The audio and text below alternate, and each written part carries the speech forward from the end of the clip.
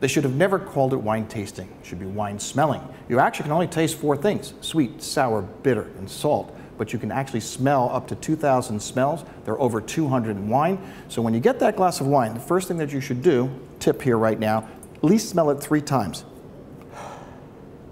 Get it all in. And here's something, a tip that hopefully you'll never forget. Put your hand over the top. By putting your hand over the top, you're increasing the uh, smell by at least 10 times. Smell will tell you everything about a wine. Cheers.